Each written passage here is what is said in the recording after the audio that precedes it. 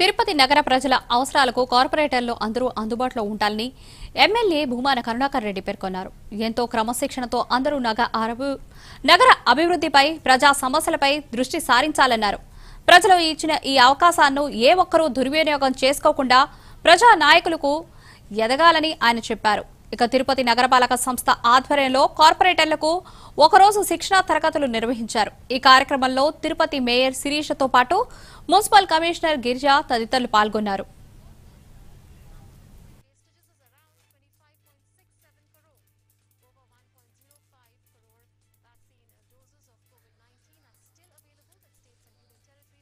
ప్రభుత్వాన్ని ప్రభుత్వ వనరులని అవకాశాలని దుర్వినియోగం అవ్వటాన్ని ఎట్టి పరిస్థితుల్లోనూ మనం అంగీకరించకూడదు అన్నటువంటి విషయం కూడా మనకు అర్థమవుతుంది.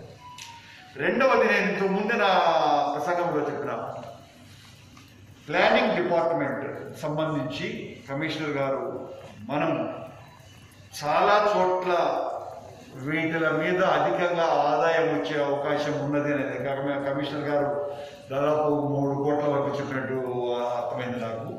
మనం మరింత సమర్థవంతంగా పనిచేస్తే ఈ సమర్థవంతంగా ఎవరు పనిచేయాలి? ప్లానింగ్ డిపార్ట్మెంటే పనిచేయాలి.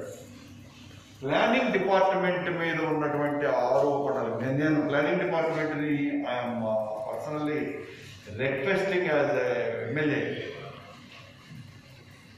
municipality ఆదాయానికి గండి కొట్టేటట్టుగా వ్యవహరించే పని చేయొద్దండి.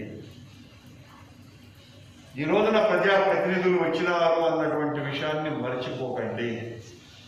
మా వార్డులలో మా అభివృద్ధి కార్యక్రమాలు చేసుకోవాల్సినటువంటి అవసరం ఉండటాన్ని అవకాశంగా మలుచుకోవటానికి సద్వినియోగం చేసుకోవడానికి మా పనిని మీరు చాలా నిబద్ధతతో పనిచేయవలసినటువంటి అవసరం ఉన్నది.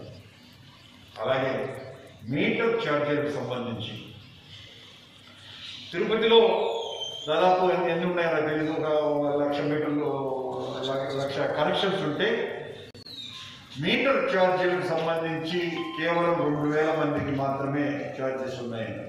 దీని మీద కూడా ఒక అవగాహన పొందాము